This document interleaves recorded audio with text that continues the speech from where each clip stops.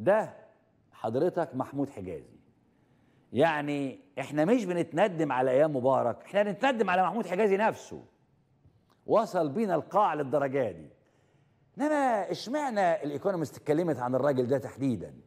وإيه علاقته بالتغييرات اللي حصلت؟ بص يا سيدي أنا هقول لك كلمتين وهقولهم وأجري على الله. يقال أو خليني أقولها لك هل صحيح إن الأخ محرز عبد الوهاب اللي كان رئيس المخابرات الحربية اللي لسه طاير ده لسه يا دوب ما وقعش كانت علاقته جيدة بمحمود حجازي؟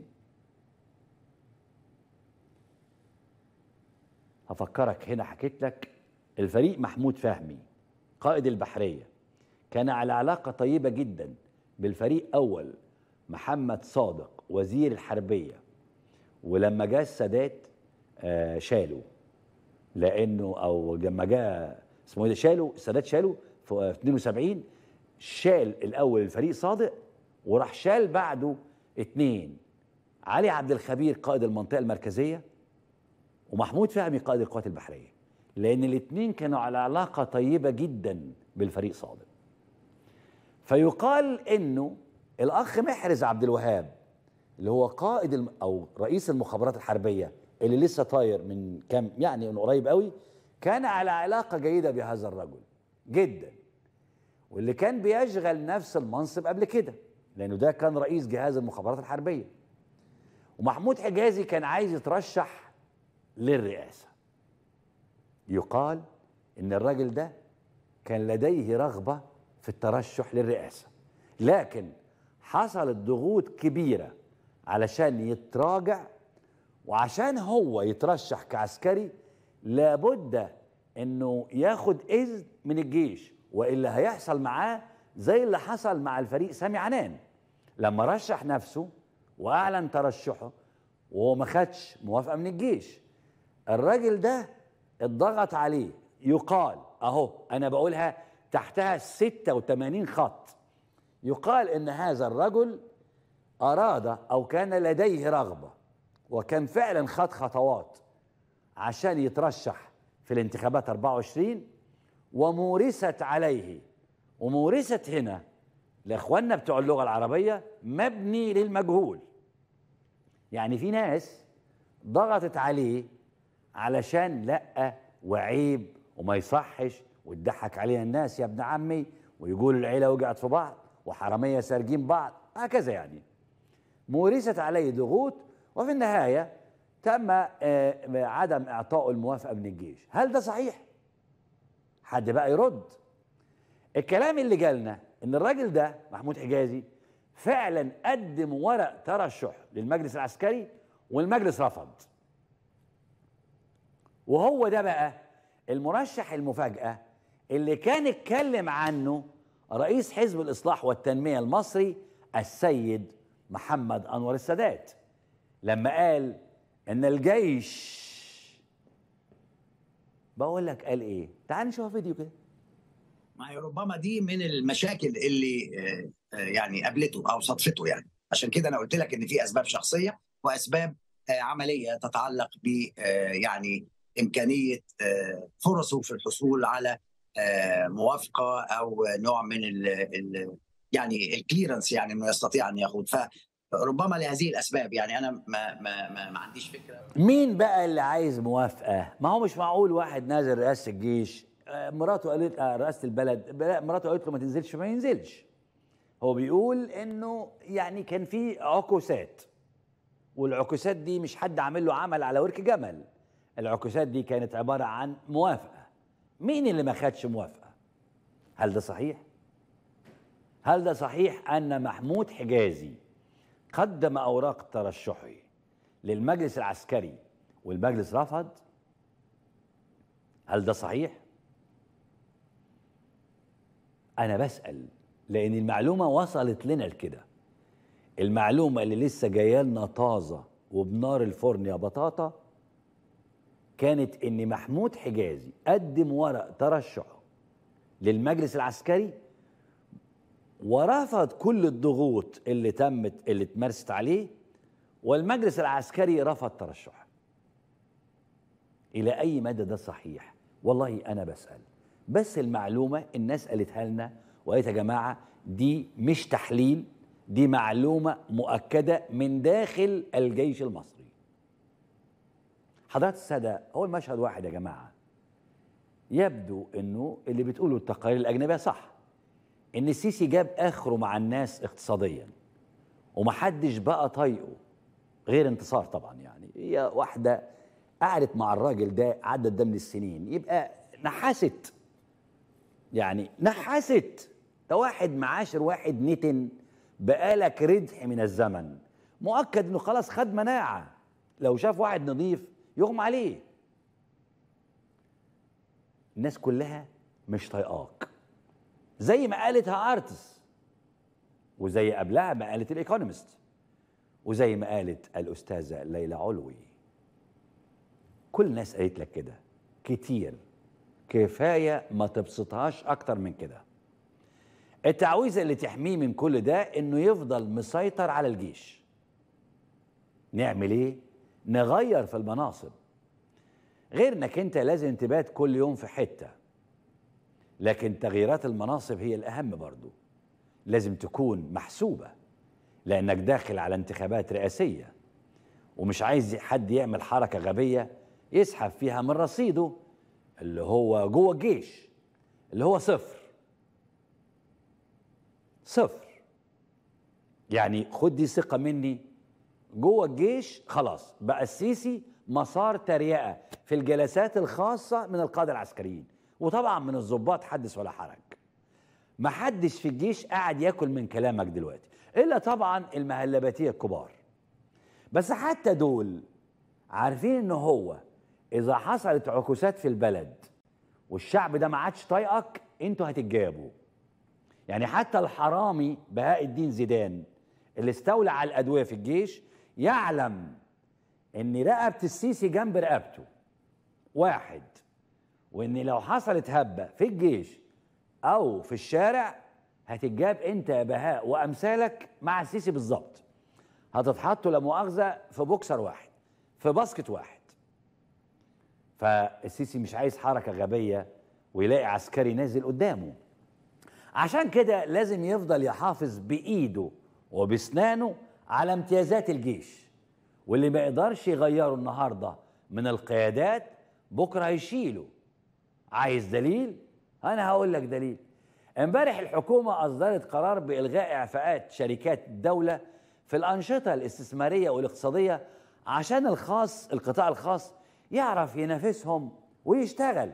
وده القرار اللي الصندوق بيقول عليه من زمان من 2016 لكن في بند واحد في القرار ده بوظ الطبخة وظهرت فيها ريحة نزله هي الريحة كريمة ريحة السيسي. القرار استثنى شركات الجيش. طب إزاي شركات أو كانت شركات الجيش هي اللي عليها كلام وإن هي اللي مسيطرة وكابسه على نفس القطاع الخاص وإزاي تستثنيها؟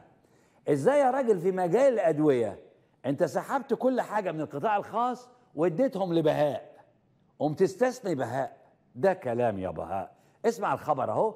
أدي القرار. مصر تستثني الجيش من إلغاء إعفاءات جهات الدولة في الأنشطة الاستثمارية والاقتصادية. رسمي فهمي نظمي سليمان. وافق مجلس الوزراء بتاع الطراطير على مشروع قانون يقضي بإلغاء الإعفاءات المقررة لجه يعني ألغينا كل الإعفاءات اللي كانت بتاخدها جهات الدولة في الأنشطة الاستثمارية والاقتصادية. وذلك بهدف تحسين المناخ مناخ الاستثمار ودعم مشاركة القطاع الخاص الغلبان في الأنشطة الاقتصادية المختلفة وترسيخ التوجه الخاص بكفالة فرص عادلة للأنشطة الاستثمارية والاقتصادية في المعاملات المالية وال... يعني دلوقتي أي مستثمر مصري قطاع خاص خلاص. يقدر يواجه قطاعات الدولة لأنه بقى زيه زي قطاعات الدولة ما عندهمش الاعفاءات اللي كانوا بياخدوها بس لحظة غير أن مشروع القانون استثنى من جميع أحكامه. الإعفاءات الضريبية المرتبطة بالاتفاقات الدولية المعمول بها في مصر وكذلك المقررة للأعمال والمهام المتعلقة بمقتضيات الدولة عن عن الدولة الدفاع عن الدولة وحماية الأمن الوطني والإعفاءات المقررة لأنشطة تقديم خدمات المرافق الأساسية. وبذلك تكون جميع الأنشطة الاستثمارية والاقتصادية التي يتولاها الجيش أو يتولى تنفيذها والإشراف عليها معفاة من أحكام القانون في تكريس لهيمنة المؤسسة العسكرية على الاقتصاد. طب وهو رجل الأعمال هيواجه مين؟ هيواجه وزارة التنمية المحلية؟ هيواجه الجيش لأن الجيش هو اللي استولى على كل شيء. باختصار كده يا حضرات السيسي مزنوق وخايف جدا من كل شيء. خايف من أي حد. لأنه الانهيار الاقتصادي والفشل في إدارة الدولة كابوس كاتب على نفسه. هو نفسه خايف من انفجار الشعب ومفيش معاه غير التعويذة السحرية التي لجأ إليها كل أحد. التعويذة دي اللي راهن عليها كل شيء تعويذة اللعب بالنار والكراسي الموسيقية اللي بيعملها مع خيرات الجيش. لكن السؤال هل التعويذة دي هتفلح معاه على طول زي ما وصفت جريدة الأخبار اللبنانية اللي قالت الخبر دي تعويذة السيسي لا تمنع الانهيار مصر تسقط الأربعاء 21 حزيران 23 يبدو أن الدولة المصرية في مرحلة راهنة باتت تعمل وفق مبدأ كل يوم بيوم. في انتظار معجزة تترجم قناعة عبد الفتاح الجعر بأن مصر لن تسقط. لكن هذه المعجزة تبدو صعبة التحقق أكثر من أي وقت مضى في ظل تجاوز الأزمة. حدود نقص العملة الأجنبية وجمود نشاط القطاع الخاص ووصولها إلى الصعوبة في توفير أساسيات الحياة اليومية بعد تخفيض قيمة العملة إلى ثلاث مرات في غضون عام واحد فيما رفع سقف الاقتراض وتحريره من أي قيود بات يهدد أو بات يهدد أكثر فأكثر معيشة المصريين اليومية. كده يا حضرات عندنا الإيكونومست هارتس وادي الأخبار اللبنانية. الخلاصة السيسي اتعلم من درس عبد الناصر وعبد الحكيم عامر وتعلم من درس السادات كمان. من ساعة ما جه بيتخلص من شركائه في الانقلاب. أول ما تخلص تخلص من أحمد وصفي قائد الجيش الثاني اتخلص من المجلس العسكري اللي رشحه للرئاسة اللي طبعا قال لهم كلام زي العسل اللي مش بعيد يكون ميل وباس رجليهم عشان يرشحوه.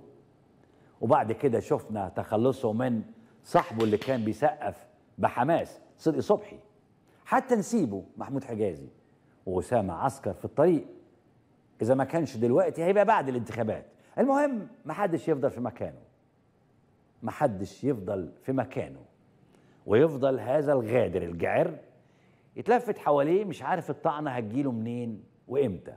لكن الموضوع الأهم بالنسبة بقى اللي زي أسامة عسكر كده إيه بقروا تاريخ أجدادكم وآبائكم من ساعة ما عبد الناصر جه. اقروا كده عبد الناصر عمل إيه وعلاقته بالقادة العسكريين كانت عاملة إزاي؟ اقروا كده جلال هريدي اللي فكر إنه يغتال عبد الناصر. اقروا عن عبد الحكيم عامر اللي كان الصديق الصدوق لعبد الناصر. أنا ممكن قبل ما أمشي دلوقتي لو عندي وقت أحكي لكم حاجة صغيرة كده. عشان تعرفوا إزاي المنصب والمال الاتنين يغيروا النفوس. والعقاد بيقول في مقدمة عبقرية عمر المسؤولية تبدل أطوار النفوس.